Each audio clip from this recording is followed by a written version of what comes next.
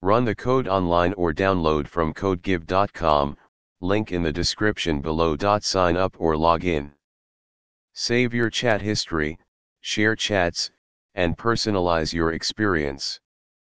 Tutorial How to check OpenCV version in Python. OpenCV, Open Source Computer Vision Library, is a powerful tool for computer vision and image processing tasks in Python. It's important to know which version of OpenCV you are using, as certain functionalities may vary between versions. In this tutorial, you'll learn how to check the version of OpenCV installed on your system using Python code.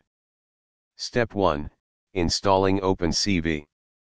If you haven't installed OpenCV yet, you can do so using pip, Python's package manager. Open your terminal or command prompt and execute the following command.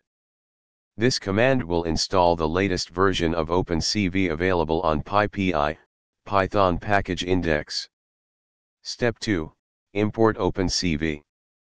In your Python script or interactive environment, start by importing the CV2 module, which is the Python interface for OpenCV.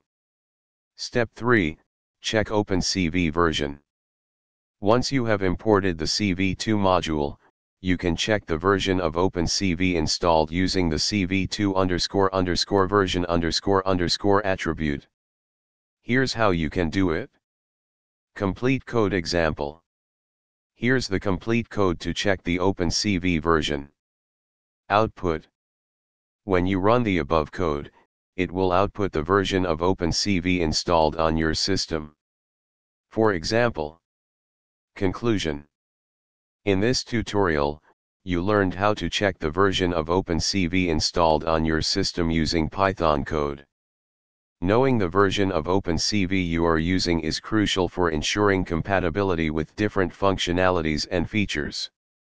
This information can help you troubleshoot issues and make informed decisions while working on computer vision projects using OpenCV.